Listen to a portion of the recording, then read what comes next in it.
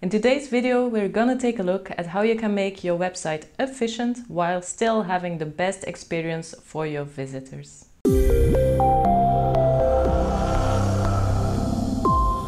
Hi, my name is Hanne from Thrive Themes. And when you think about an efficient website, what does that actually mean? It means different things for different visitors. When you think about your first time visitors, what is the one thing you want them to do when they arrive on your website? You want them to subscribe to your newsletter, right? And what about people that are already on your list? What is the one thing you want them to do? You want them to take the next step in your sales funnel. The next step in your sales funnel could mean several things. This could be book an appointment with you, it could be to attend a webinar, or why not buy something from you directly on your website. And how can you make sure that the first time visitor sees an opt-in form and that other visitors get to the next step in your funnel? Well, that's exactly what I'm going to show you in this tutorial. Now let's see how this would look like for an interior designer. As a first-time visitor, we arrive on the website and are greeted with an opt-in form. When we scroll down on this website, you can see a widget area where we offer again the free guide and a bit lower when you scroll down and you read the complete article, you can find another opt-in form, which is in this case a two-step opt-in form. When people click on the Show Me How button, they are greeted again with an opt-in form. This is how the experience would look like for a first-time visitor. But as you can see, this is quite aggressive and you don't want your subscribers to see all of this again, right? Let's take a look at how this website looks like for subscribers. When a subscriber arrives, he will not see the lightbox pop up, and as you can see, the sidebar widget disappeared, and at the end of the blog post, instead of having the two-step opt-in form, he is greeted with a new call to action to book a free call. This is completely different experience for somebody who's already a subscriber from your website and somebody that's completely new. We can really optimize the whole website to be as efficient as possible for each and every visitor and to get the best conversions depending on what those conversions are. For new visitors, the conversion will be a subscription to the newsletter, but for subscribers, the conversion might be to book a free call with this interior designer. Now, let me show you how this is set up in Thrive Leads. I'm now connected to the Thrive Leads dashboard, and the feature that allows to show different call to actions to subscribers than to non-subscribers is called Smart Links. With this smart link, you will be able to tag people that are already subscribers. In your newsletter, you are going to use this link instead of having a normal link. Let me show you, it's very easy to set up. So first of all, you're gonna decide where you want to send your visitors to.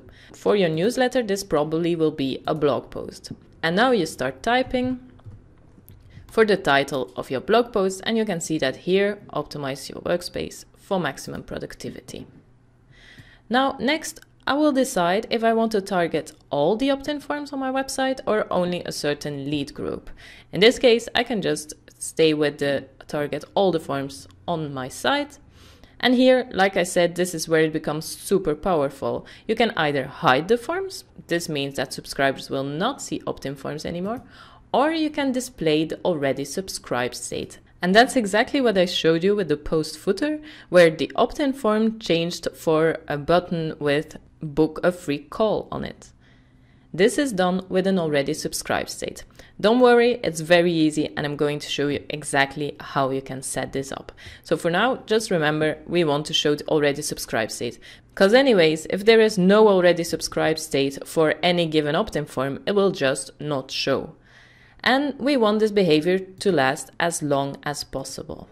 So this gives us a special link. You can copy it and now you're going to give this link to your subscribers. So like I said, the, the easiest way to do this is in your emails. And every time when you send a new newsletter, you will use one of these links. This will help you to have people tagged and they will never see the opt-in forms anymore. This also means, and that's very important to understand, that when somebody visits your website, when they have clicked with their cell phone, they will be tagged also on their cell phone. So now that you understand how you can create the smart links, let's see how you can make this already subscribed form. To change the call to action for certain forms on your website, you will choose which one you want to have an already subscribed form for. For example, what I showed you with the lightbox not showing up, so I just didn't create an already subscribed form. And for the post footer, I created the already subscribed form. And that's exactly what I'm going to show you. So here in the post footer, I can click on edit and edit the design. This is the Thrive Leads interface you're probably already familiar with. And as you can see, we have three different states. So if you don't see this menu, it's probably hidden like this. So simply click on the arrows and then you can see the different states. If you start with a one-step opt-in form, you will only have the default state. In this case, I have a default state, I have a first state because this is a two-step opt-in form. So from the default state with the button, the button is linked to the state one and so this shows the opt-in form. So that's what you've seen on the website. And as you can see here, I have a third state that's called an already subscribed state.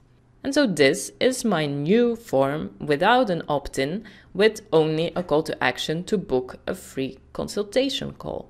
To change up the example a little bit, I will show you how you can do this with a ribbon, because this is not limited to a specific type of opt-in form. As I showed you, the widget was not showing anymore, the lightbox was not showing anymore, and the post footer had an already subscribed state. But this was just an example. You can really do this with any type of opt-in form you like. Let me show you how this is done with the ribbon.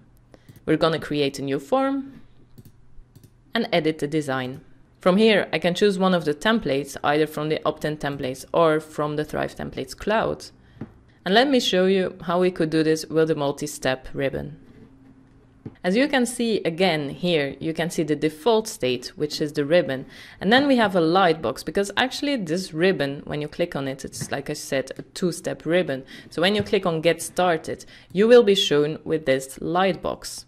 And now, if I want to make sure that my subscribers see something differently, because they do not want to opt in again, in the states menu, I click on plus add, and I choose for an already subscribed state. And now here, instead of having the get started button linked to the lightbox, I can change this up completely I could, for example, create a button with a special promotion for members, and then I would link this button to the sales page. So in link settings, I can say get it now. And here I will put the URL of the sales page. So what will happen now? First time we'll see this opt-in form. So the free site launch promotion package gets started and when they click on it, they are presented with this light box. But when somebody arrives and is already a subscriber, they will be presented with already subscribed state and will see the special promotion for members. And when they click on the Get Now button, they will go to a sales page. I really hope you like this tutorial and that you see how powerful it is to have a different message for first-time visitors than for subscribers. And if you have any questions, you can leave them below this video.